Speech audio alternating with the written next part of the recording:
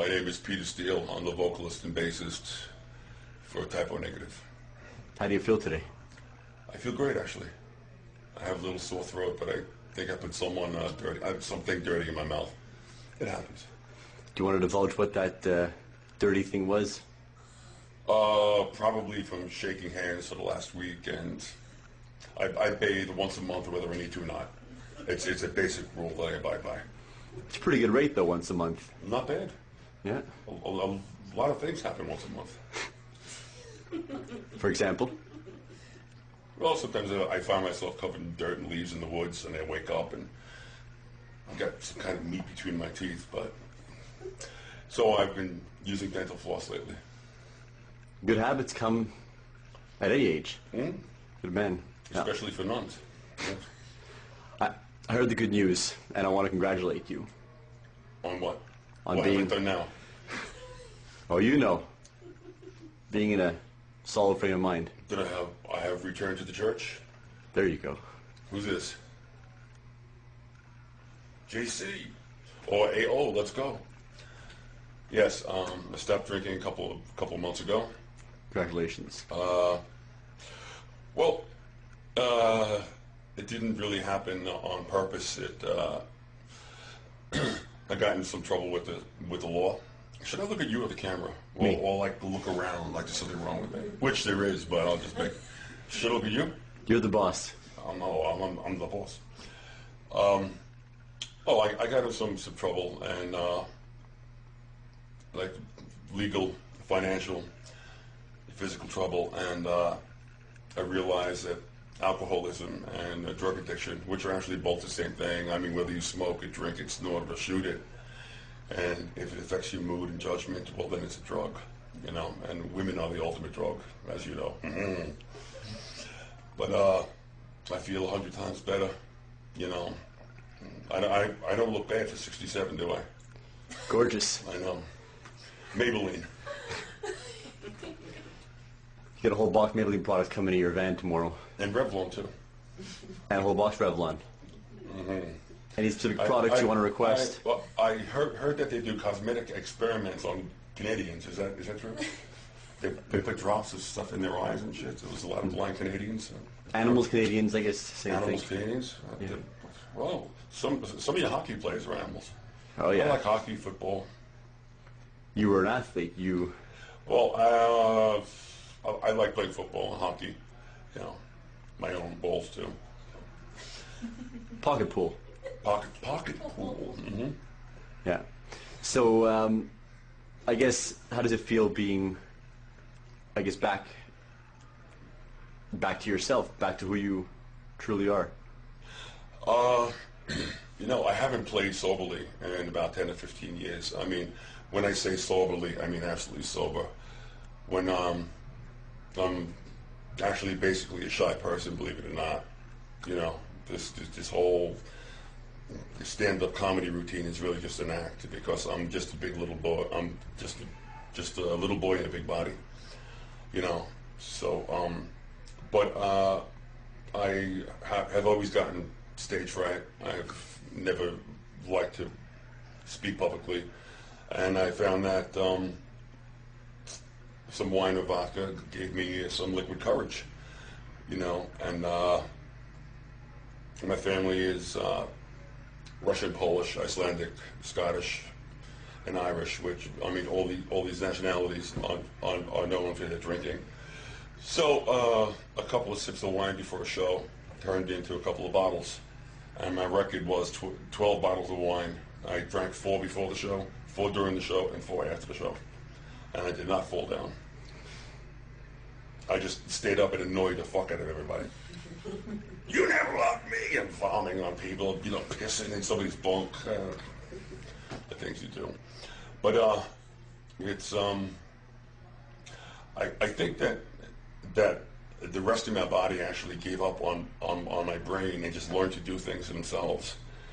Like now when I play bass, well, not that I ever could, but when I try to play bass, I actually have to think about the next part. It- because my, my hands gave up on my brain a long time ago. They're like, fuck, fuck, him, fuck Pete. You, you, you, you, you take the neck, I'll take the pick, all right?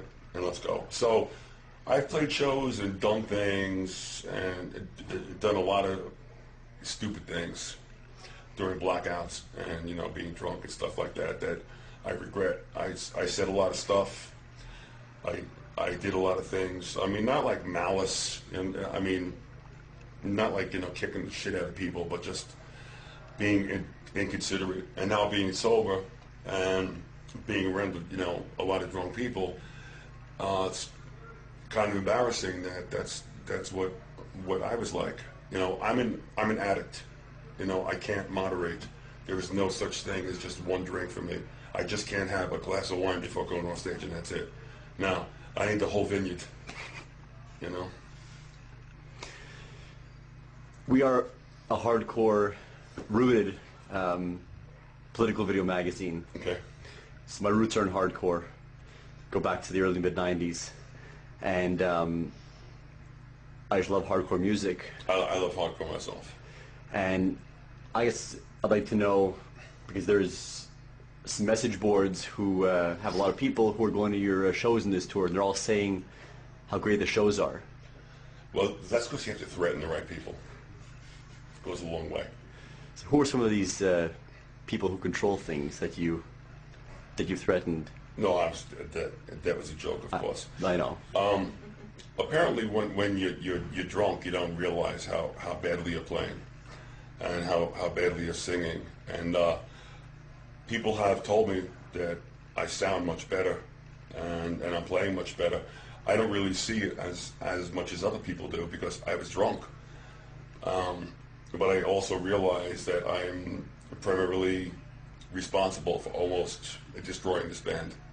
Um, the last five years of tours have, have, have been full of coke and alcohol, and I didn't think I think it was apparent. I was like, oh, they'll, they'll never know. And then there's like a camera close up on me, like with a snowball up my nose. Oh, they'll never know.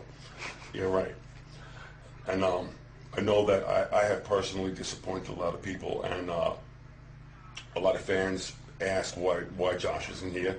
Josh isn't here because he's smart, you know, because uh, he has a wife and kids, and I I, I represent actually two fifths of the band because I sing and play bass, and you know, guitar, drums, keyboards. So if I'm fucked up, almost half the band's fucked up. So like, there goes the show. So he's he's resorted to Plan B. He, he's he's going to school to uh, become an EMT, paramedic, and uh, I you know his his family comes has to come before everything, you know, including his employment. And um, six months ago, I I wouldn't depend upon me, really. So I don't blame him. You know, I, I, I had plan B, C, D, and E, you know, down the line because this can't go on forever, you know. But um, so I'm I'm trying to rectify the damage that I've done Okay. by by just doing the best job that I can and not drinking. And it's it's not easy, you know. Like there's no such thing as constipation in type O negative because we, because we all have have stage fright. No, I gotta go bad. I gotta go really bad. No, I was here first, you know. So scared shit. Being sober, thinking back to your very young days and your roots in, in the New York scene, Yeah. I guess your memory is kind of reactivated to some degree.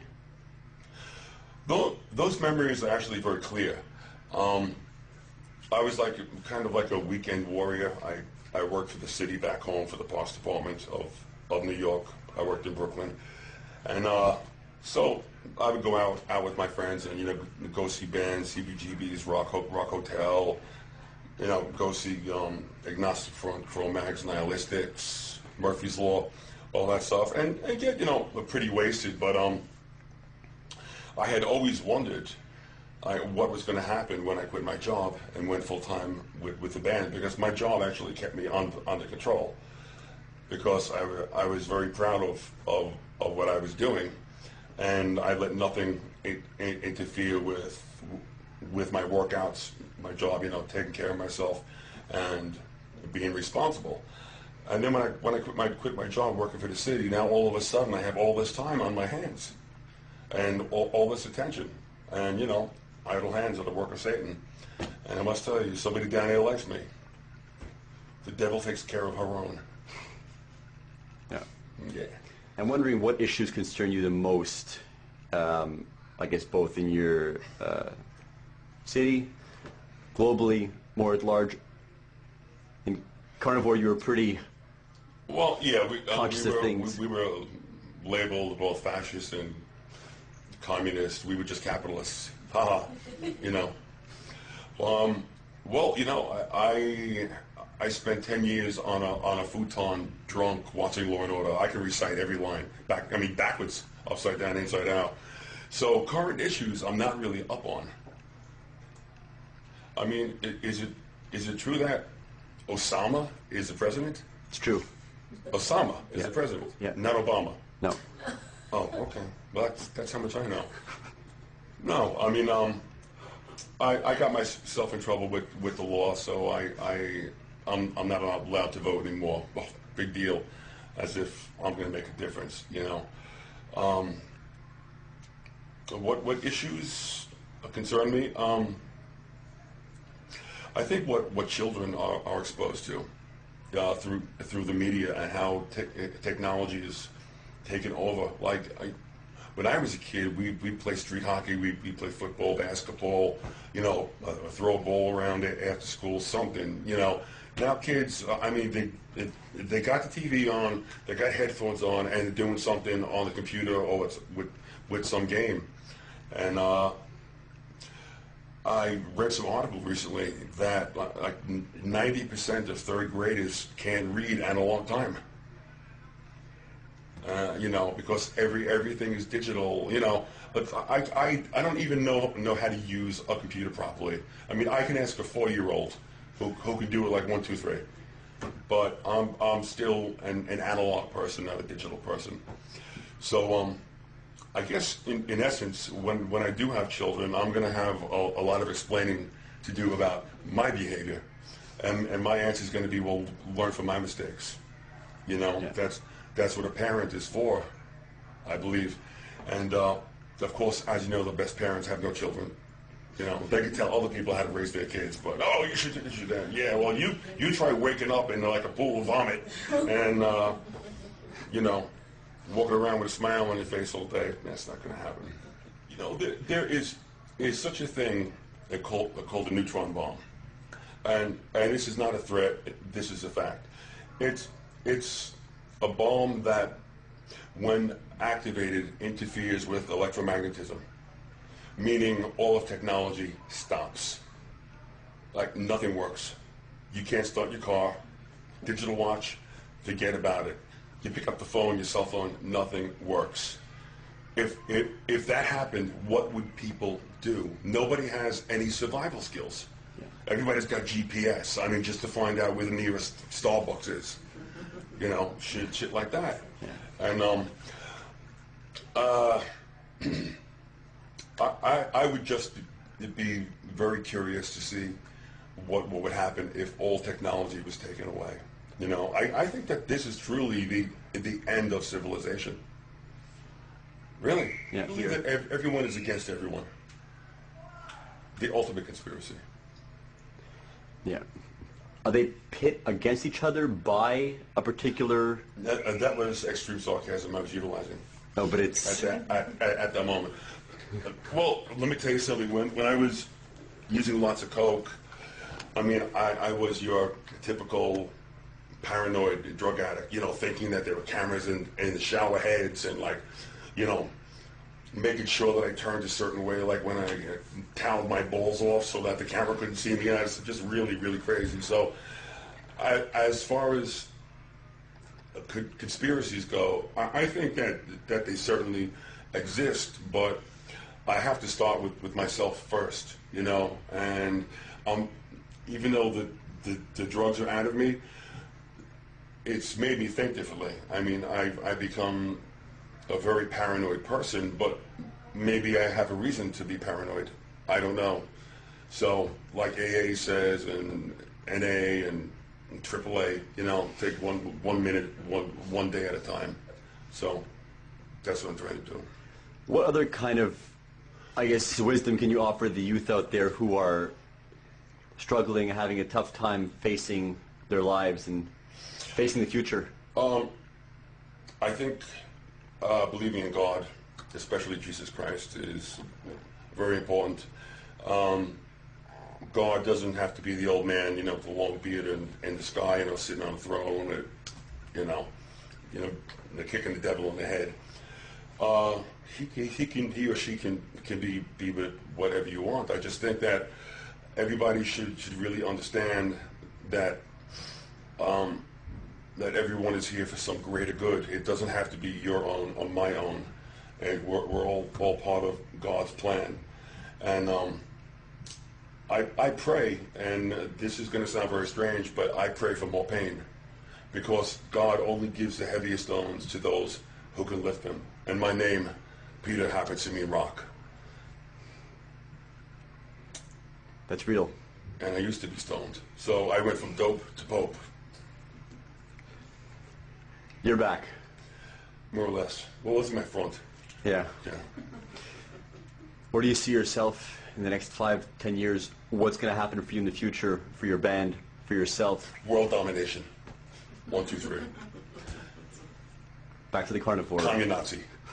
This way you can left, right, right wing, left wing, chicken wing. Communism, fascism, botulism, number one. Everybody gets free salmonella. You're a true character. You're, I've been told. yeah. How has it affected, I guess, being the age you are, um, how people relate to you, how young people relate to you? Well, I have two two things to, uh, well, probably more than two things to um, say about that. Being being drunk and stoned for for ten years. I mean, uh, days turned in, into weeks, into months. I mean, I, I woke up. I, I went to sleep yesterday. I was 37. I woke up a couple months ago. I was 47, and I was so, excuse me for saying, fucked up all the time that I would I would blame like aches and pains and you know this and that. Well, I probably fell down a flight of stairs or something, which you know which I've I've done like and you know got like splattered with battery acid, you know, and shit like that. And um, but what is happened is uh, happening is as you get older, time goes by faster, and it just sickens me how how how how much time I, I've wasted because addiction is so selfish, and how many people it's it's affected negatively. So, but getting back to your previous question, all, all I can say to, to the youth today is is have faith that that when bad things happen to you, that, that, that I believe in, in an afterlife. That it's it's better to suffer here on earth than what awaits you. So that's why I pray for pain, and I get it. I do. Any final words to offer people out there, uh, the fans out there? Any messages, things you want to express some, some solidarity with? Any movements? Any critical final words to offer? Treat each other the way you'd like to be treated. That's all. In nombre del Padre y del Espíritu Santo. You're a good man. Thanks. Thank you again. See ya.